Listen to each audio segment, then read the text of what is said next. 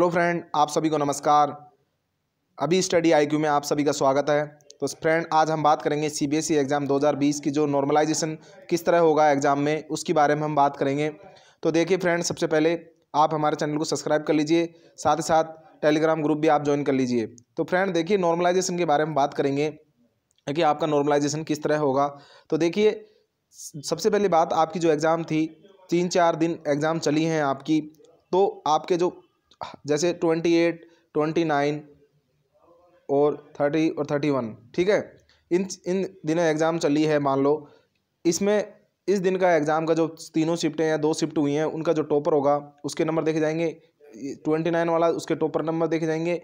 और इधर जो तीस का जो होगा, उसके टॉपर के नंबर, और जो इकतीस का होगा, उसके टॉपर के नंबर देखे जाएँगे। और इन टॉपरों के नंबर देखने के बाद आप में, इन टॉपरों में से जो जिसके ज़्यादा नंबर होंगे, उसके उसके हिसाब से ही औरों के नंबरों को इंक्रीज़ किया जाएगा। नॉर्मलाइजेशन में आप सभी को पता होगा है कि नंबर डिक्रीज़ होने के चांसेस कम से कम रहते हैं। डिक्रीज़ के चांस कम से कम रहते हैं। वो, उनके जो फॉर्मूला यूज़ करेंगे, उसके ऊपर डिपेंड करता है कि सी कौन सा फॉर्मूला यूज़ करती है नॉर्मलाइजेशन के लिए। तो फ्रेंड आप सभी लोगों के, यदि मान लो आप जैसे एक सौ पंद्रह हैं किसी कैटेगरी में आपको लग रहा है कि इसमें लगभग आपका होगा या नहीं होगा 120 से ऊपर जाएगी। तो यहाँ आपको थोड़ा चांसेज है कि 115 आपके जैसे ये नंबर है, आप मान लो आपकी शिफ्ट हार्ड थी तो ये यहाँ आपके मान लो पाँच से छः नंबर इंक्रीज हो जाते हैं। और जो भी कोई क्वेश्चन में ऑब्जेक्शन हो, आपको नहीं पता हो और वो इंक्रीज हो जाते हैं तो आपके टाइपिंग के जो चांसेज हैं, वो पूरे पूरे बनते हैं।